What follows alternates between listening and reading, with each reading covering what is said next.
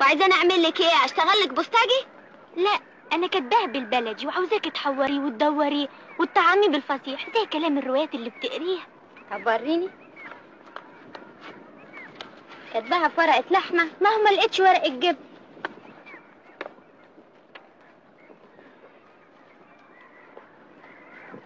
حضرة المحترم زين الرجال وبطل الأبطال الشكاري الخالي من كل عيب بطال. كلام عيال. بعد التحية. كاتبته محسوبتكم بطة حرة لا كيشة ولا غرة دي مش بطالة.